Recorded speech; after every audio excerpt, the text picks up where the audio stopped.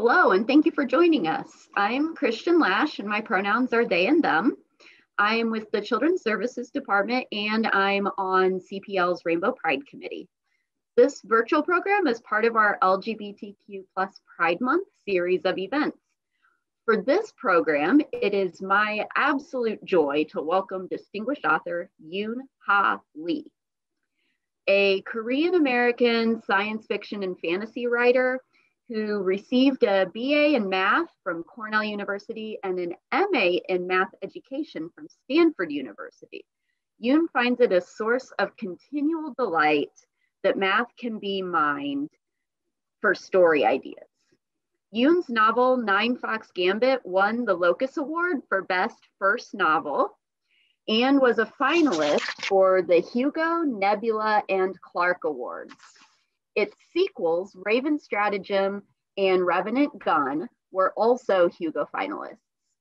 His middle grade space opera, Dragon Pearl, won the Locus Award for Best YA Novel, and it was a New York Times bestseller. Yoon's short fiction has appeared in publications such as F&SF, Tor.com, and Clarkesworld magazine, as well as several years' best anthologies. Yoon's middle grade space opera, Dragon Pearl, was also named one of CPL's best of the best books. Yoon joins us to discuss many topics, including identity, space operas, both children and adults, and new and upcoming books, including Dragon Pearl's upcoming sequel, Tiger Honor. With that, I'm thrilled to begin our discussion with Yoon Ha Lee. I guess um, we can dive right in if that's okay with you. Sure, absolutely.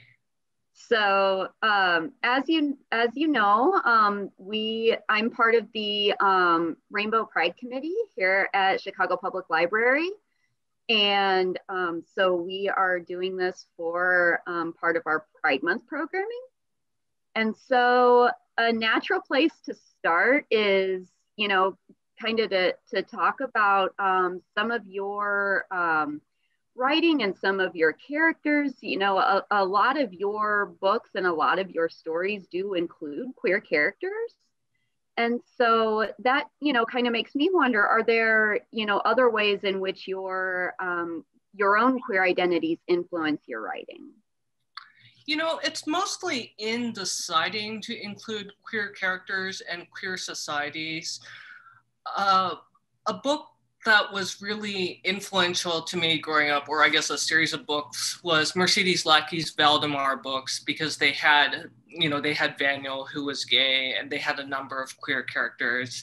And also, um, maybe not uh, the best example from a modern standpoint, but Anne McCaffrey's Pern books because they had the uh, uh, they had various queer characters, and I thought I would like to continue that um, in writing books where char- characters like myself could be seen and reflected. Yeah, I know as a non binary person myself, I've really appreciated reading um, just all kinds of books with non binary characters, um, and yours in particular. And the reason I say yours in particular is because I think you do a really good job of having non binary characters that are just people living their lives like everybody else. Um, I think a lot of queer fiction is so focused on these, you know, identities as service to the plot or identities to explore some of the um, I guess trauma narratives and the the difficulties that we face in society. And those stories are absolutely important and crucial to tell. Um, but I I really appreciate having stories like yours where non-binary and trans and queer characters are just people living their lives I think one of the things that enables me to do that is that most of the time I'm telling stories set in a secondary world. So, for example, if you're writing about a queer character in the 1990s, it's it's a little hard to escape some of that narrative because that acceptance wasn't a part of general society. The other thing that really made me think about this was actually not in regards to queer fiction, but a friend of mine, Rachel Brown, is a Jewish author, and she said something that really struck me that all the books about Jewish characters when she was growing up were Holocaust or Jewish trauma narratives. And sometimes she just wanted to read about a Jewish character having adventures and just being Jewish without that, you know, their identity being, uh, you know, a Jewish I guess Jewish coming out is maybe not not the same thing, but you know their identity as trauma being a focus of the narrative. So I thought of that in regards to queer and trans and non-binary characters, and said maybe the characters can just be themselves, having their own lives. Yeah. Um, so I I know that um, you know in prior um, conversations, like we've talked about. Um, you know how there are more non-binary writers that are writing um, non-binary characters mm-hmm. um, and i'm wondering if you have um, any favorite examples of not just non-binary but any um, queer trans um, authors who are writing stories about their own communities uh, one of them is River Solomon, who wrote An Unkindness of Ghosts. Uh, I will say that it is somewhat heavy reading because it's a it's a colony ship that has managed to reproduce in, in sort of a um, really horrible way at the antebellum South.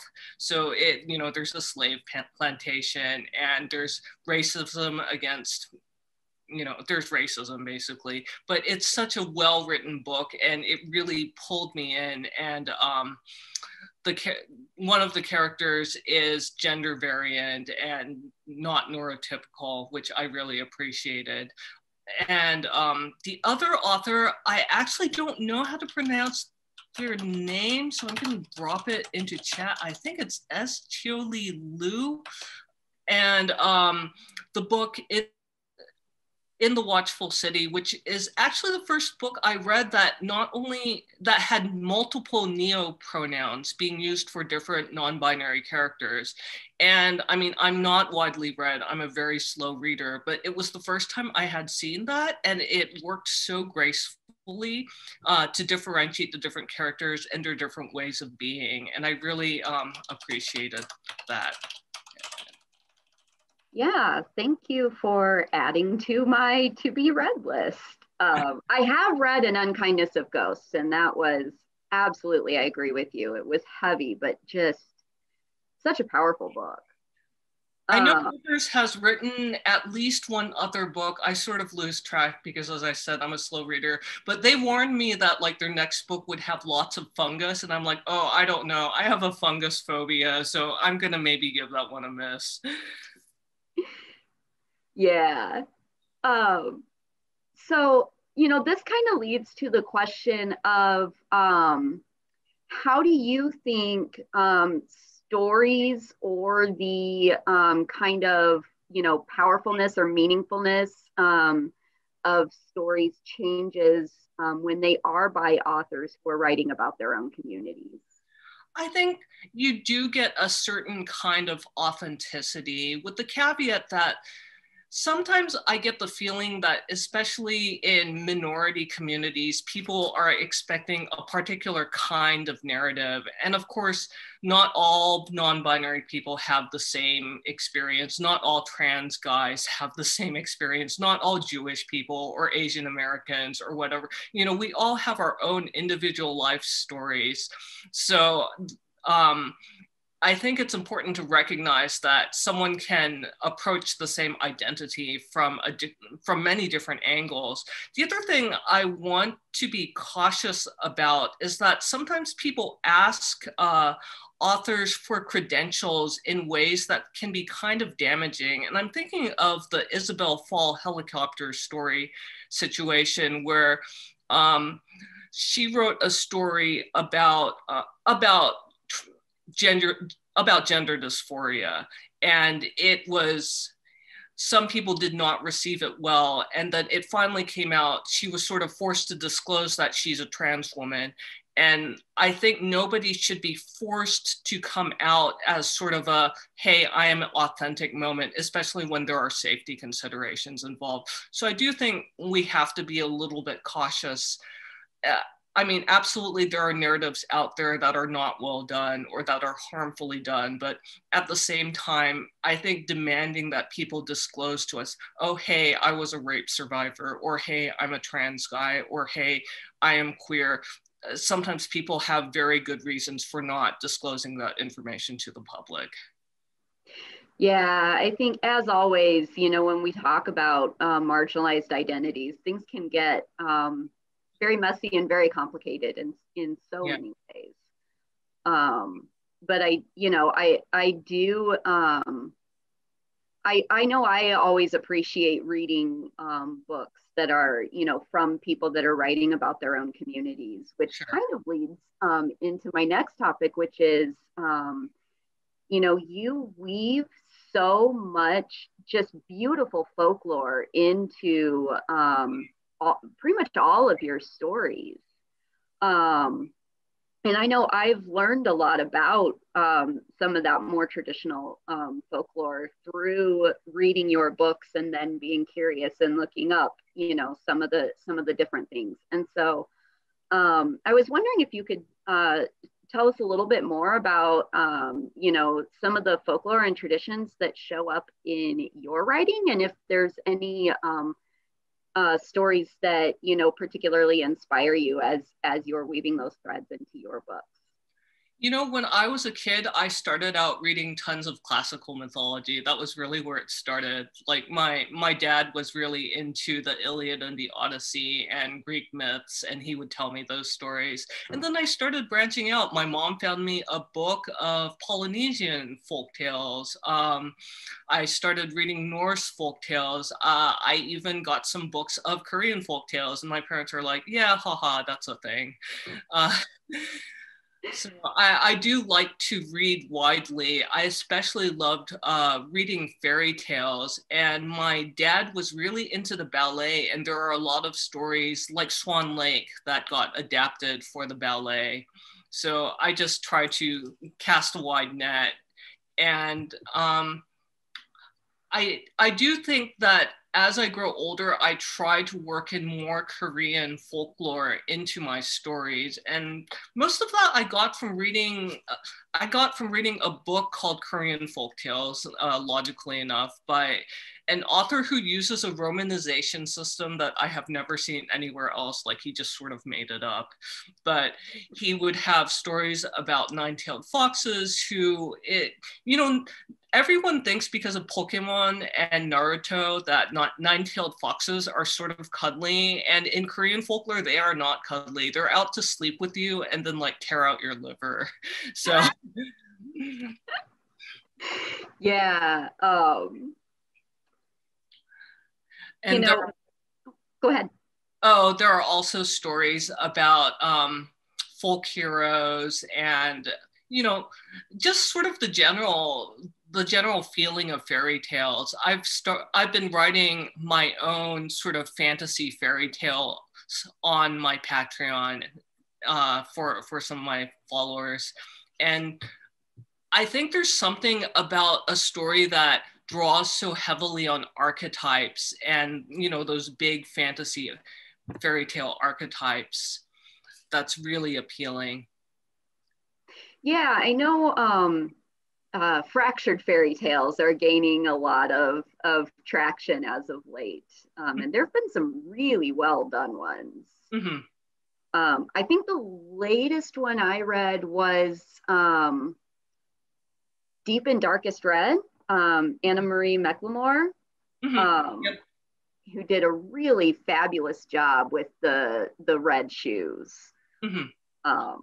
I think the last one that really made an impression on me was Catherynne Valente's uh, Deathless, which takes uh, I can't pronounce Russian, Koschei the Deathless or Heartless or whatever, however it goes, and mixes it with uh, the history of the siege uh, in World War II, where the Germans come and the Russians are in there starving in their city. So it's again, it's very heavy reading, but it's so brilliantly done. And I just love it when people take old material and make it new. Yeah.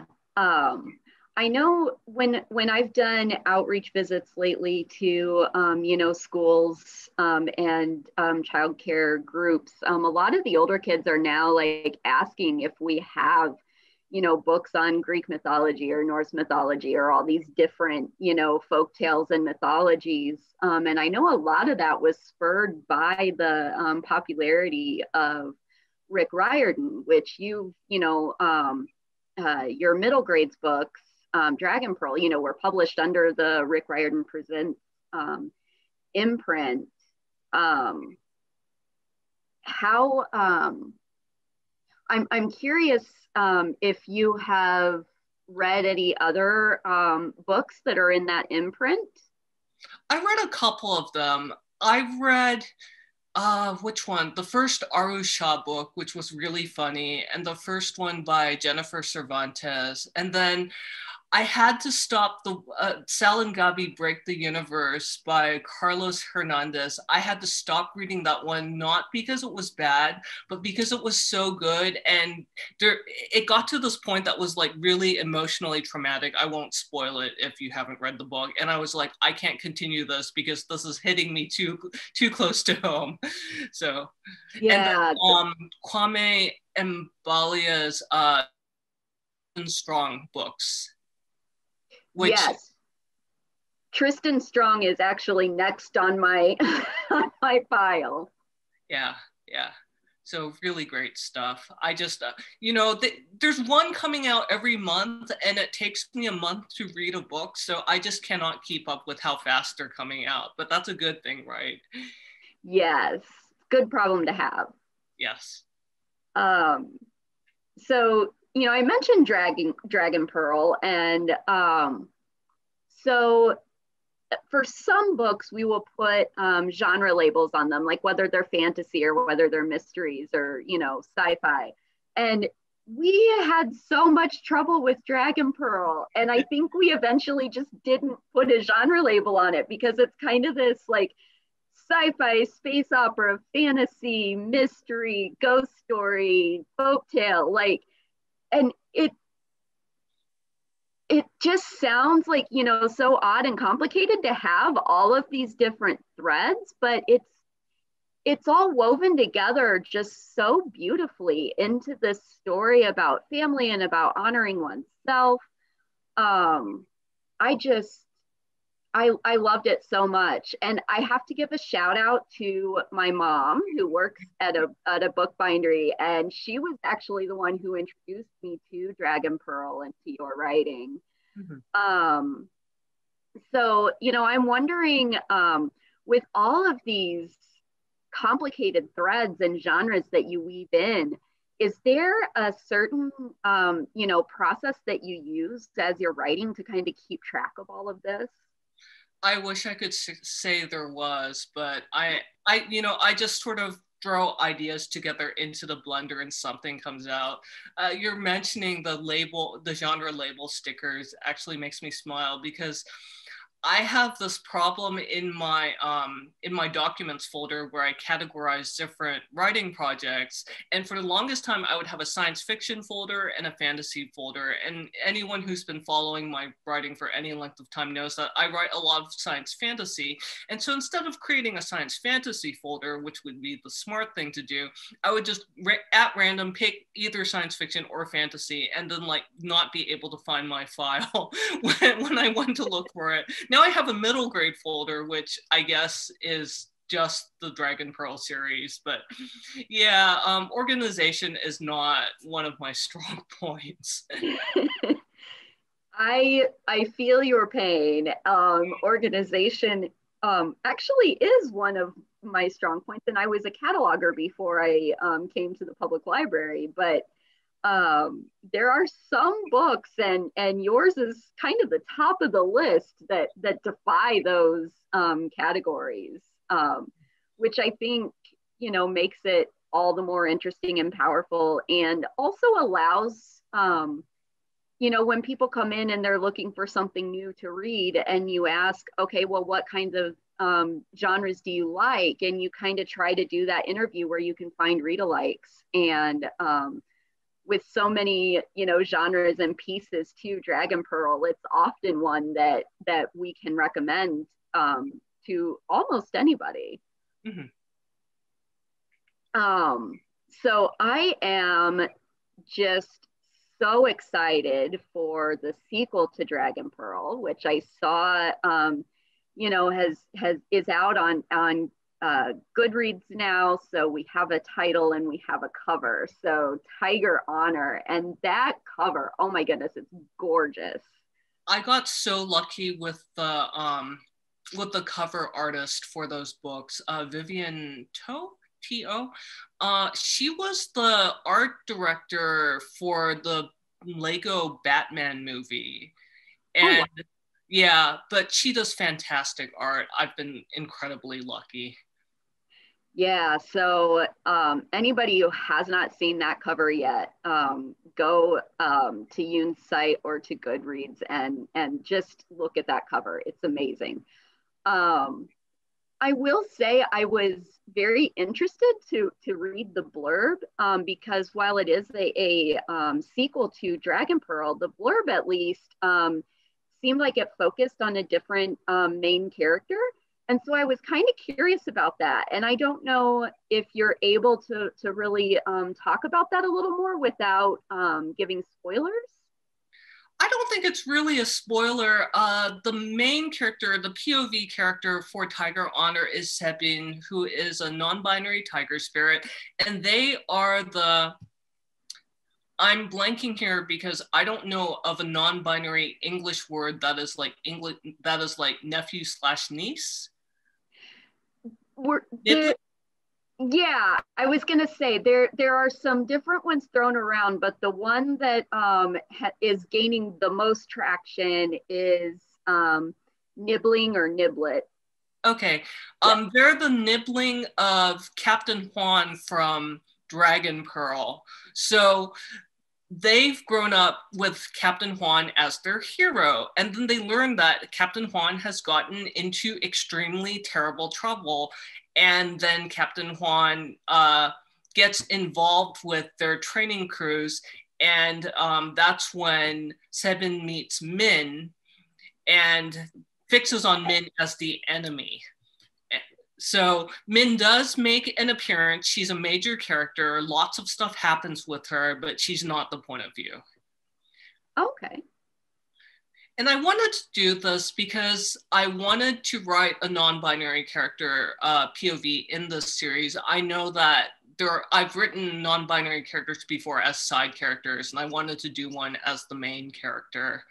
And um, yeah, I thought it would be a good way to move the series forward without without it feeling too much the same. I have this terrible problem that if I write a book and it feels like I'm retreading old ground, I get bored. So I have to change things up.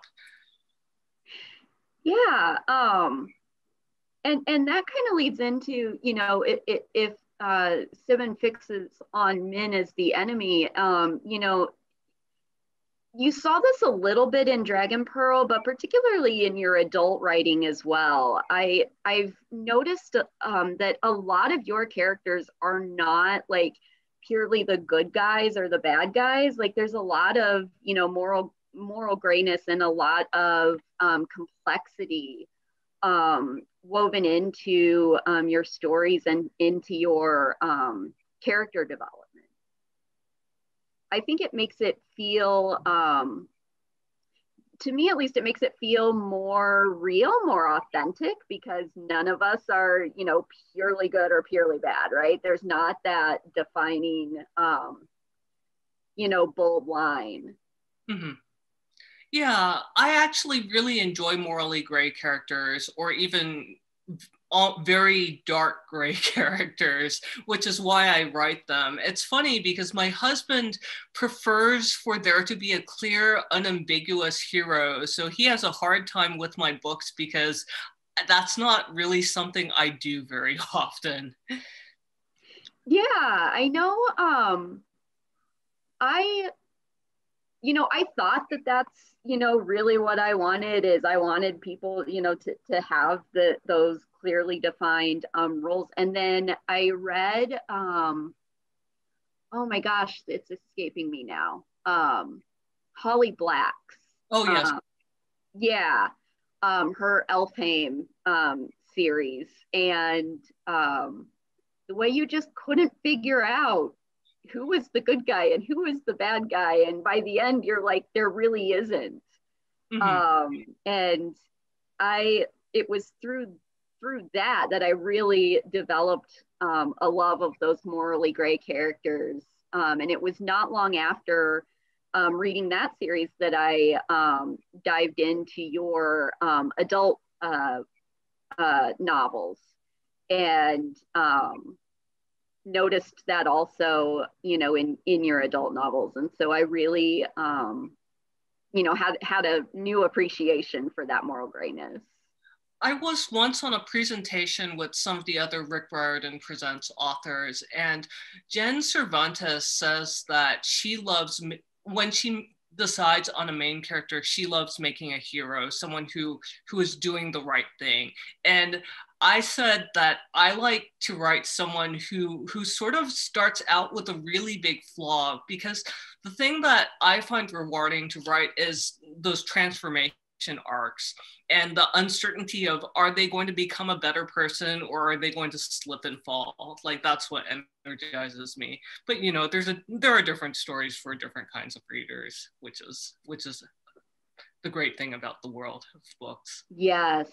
That arc um, of of transformation as soon as you said that um, i just i literally just this morning finished reading um, the second book in the um, children of blood and bone mm-hmm. Um, and that's you know kind of through this entire um, entire series like you know you're you're trying to figure out um, whether Inan, who is the the you know the ruler of this um, kingdom like is he going to you know like you said is he going to have that you know good transformation or is he going to fall and we still don't know and um, i really you know i think it adds a lot um, to to the writing mm-hmm. um, so we're kind of um, starting to get into a little more of your adult writing. And speaking of gorgeous covers, I recently finished um, your your newest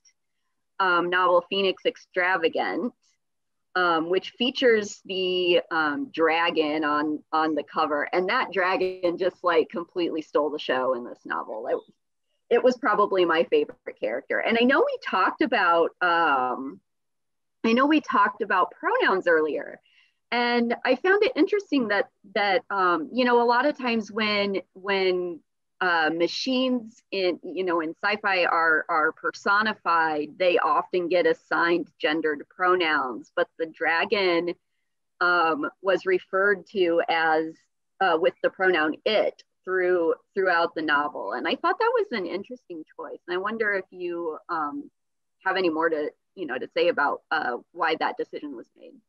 Uh, I did it to avoid pronoun collision because Jebi, it, the main character, is non-binary and they're the protagonist, and the book is written in third person. So if I had two characters that were going by they pronouns, that would have the potential to get confusing. And the dragon, like, what does it even mean for a robot dragon to have a gender anyway? And it is mechanical, so I decided that it would be okay to use the pronoun it. I'm reminded, uh, and I mean, this is not just non-binary or inanimate, inanimate, um, robot creature pronouns. I had a writer friend, Nancy Sauer, who once had to do a writing assignment where she was writing three female warriors um, fighting a battle in the dark, and she had to differentiate who was doing what at any given time without getting the reader confused with all the she's and hers running around. So the, it, it was really just for technical reasons that I decided to assign the dragonette. Okay.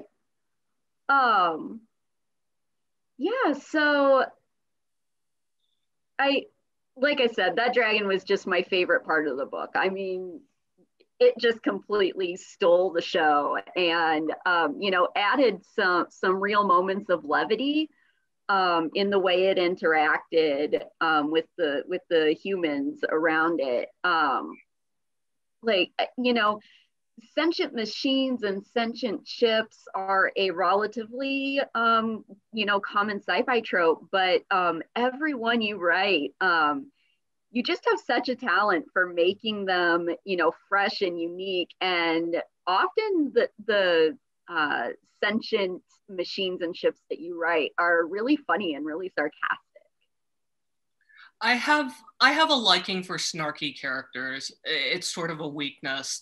And the you know i've seen books where they make try to make the robots robotic and that's never really worked for me narratively. I mean i have no opinion you know i'm not an ai researcher. I don't have an opinion on whether that's realistic. But i always find um, non-human characters more interesting when they have a distinct personality or a distinct point of view. And so i and especially if there's a sense of humor in there as well. Yeah. Um I really, um, it, I really appreciated the theme behind Phoenix Extravagant. Um, and um, I'm going to, to plug CPL's um, uh, summer learning theme a little bit here because um, our summer learning theme is focused on art and Phoenix Extravagant fits really well um, with that theme, you know, the exploration of art for art's sake.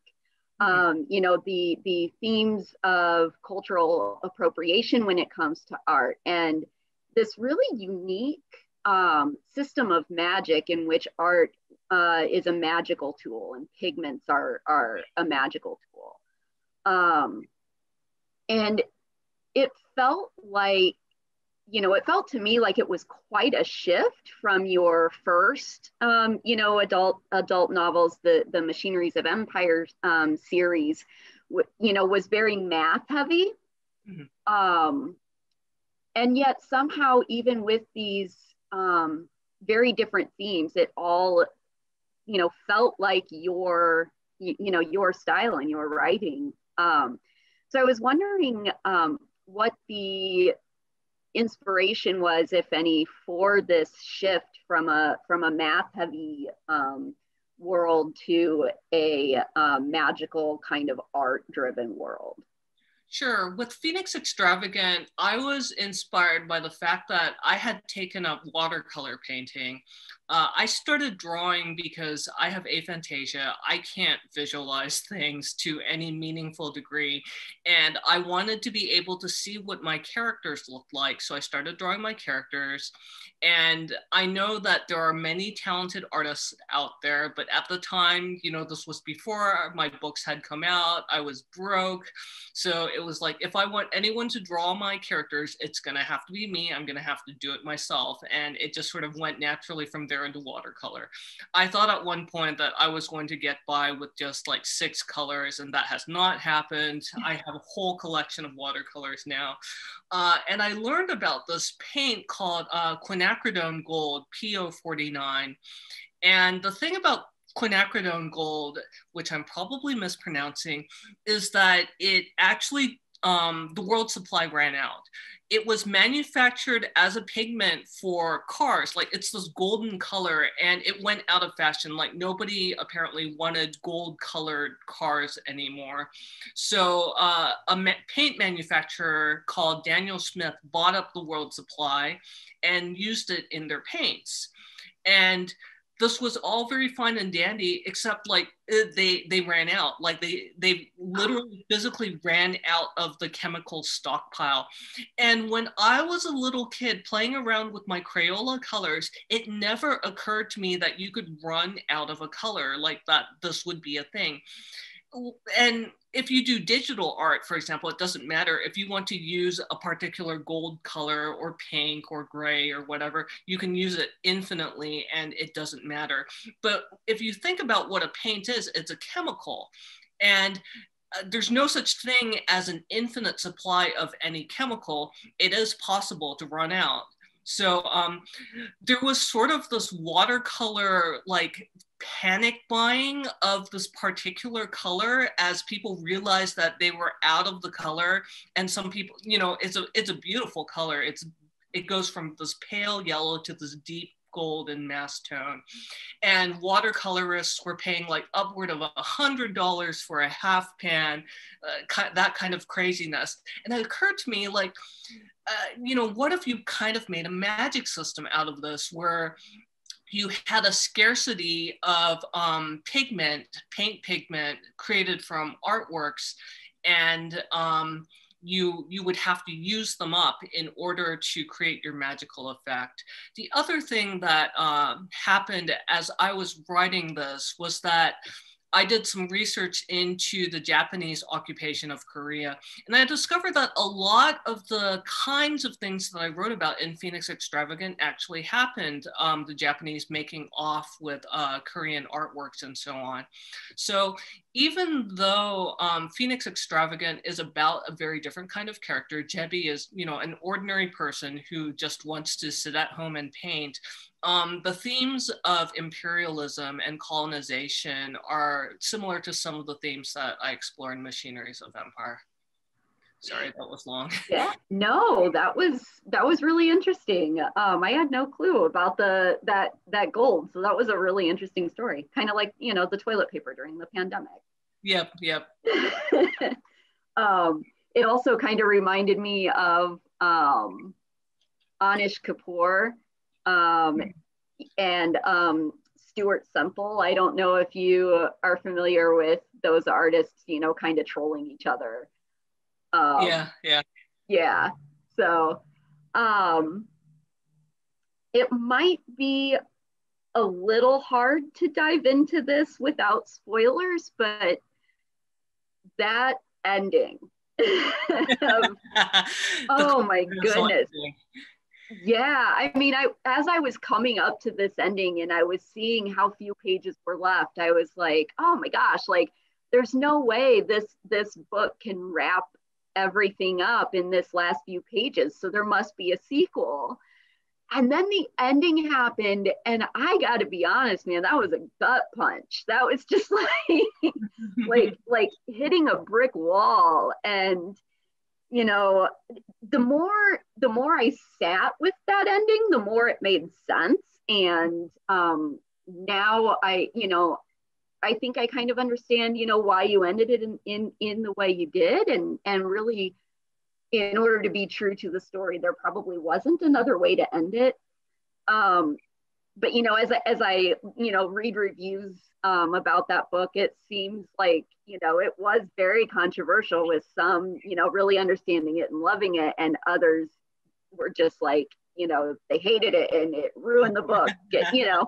I, I i'm wondering if you can you can kind of expand on on your decision on ending it um, in that way without giving spoilers. Sure. So Jebi and um, friends, let's say friends, Jebi and friends, I wanted to give them sort of a happy ending because I got tired of this thing where the non-binary character or the queer character or whatever, you know, gets gets broken up or unhappy ending or somebody dies or whatever. Like I did not want that to happen. At the same time, um, if you look at the historical background, the book is sort of based on the Japanese occupation of Korea. Korea was not freed because of plucky rebels. Korea was not freed because a mechanical dragon came around and you know beat up all the Japanese and drove them out. Korea uh, was freed from the Japanese occupation because the Americans came in Japan in World War II. ended in 1945. And then, of course, things get very complicated. And five years later, we have the Korean War. But you know, I was like, I, I'm really not up for writing writing things that go that far into the history. But if you look at the historical background and the fact that um, outside intervention was what drove the Japanese out of the Korean peninsula, I was like, this is the only this is the only way I can go. So I guess, you know, we've we're kind of to this this point where you know Phoenix Extravagant came out a few months ago. You've got Tiger Honor um, coming out in you know a few months from now, and so I'm wondering if you know you have anything else going. What's next for you and for your readers? Uh, I have a collection of fairy tales coming out in I think October of this month. It's called The Fox's Tower and Other Tales, and it's coming out from Andrews McMeel Publishing. And it's a sort of a re-release plus some new stories of those Patreon flash fairy tales, which I really enjoy writing those because I write a lot of downer books, as you may have noticed. And with the fairy tales, I really endeavor to write something short and sweet and uplifting. It's not something I really do a lot in my novel length work. So that's coming out. Um, I am working on a novel presently, but because I am waiting for the official announcement, I cannot say anything else other than I am writing on a novel and things are happening. Okay, fair enough. Um, I'm really looking forward to the fairy tales though. Mm-hmm. Um, and and I also I also have to say like I've I follow you on Twitter, as I'm sure many of your your uh, readers also do, and I am just like endlessly entertained by um, your cat pictures and how much your cat is involved in. Um, it, it almost seems like your cat is very involved in your writing. Um, I also have um, what I lovingly refer to as a Velcro cat. Um, um, yeah, tell it. Tell us about tell us about your kitty. Uh, we adopted her seven years ago because I decided I wanted a cat, and we had decided that it was time we were going to do the cat thing. She's my very first cat and um, she's really friendly and not very bright. Like the first day we brought her home and we plunked her down in front of her food bowl and she flopped over, showed her belly and started to purr. And everyone had warned me that the belly is a trap. Do not pet the belly. But she just kept purring. So I tried petting her belly and she really liked it. This was on her first day. Like we were strangers. She had no idea who we were or if we were going to, you know, murder her for, I don't know, cat meat so she's just a really easygoing, trusting cat, and we think she's really a dog. And the reason my Twitter feed is like 90% cat pics by volume is that, you know, some people use their Twitter to get into political discussions or I don't know, any sort of heavy discourse. And I, I don't think there's anything wrong with that. But my observation from watching a lot of Twitter arguments is that I have never, ever, ever once seen anyone change their mind about something because of a Twitter argument. So I'm opting out.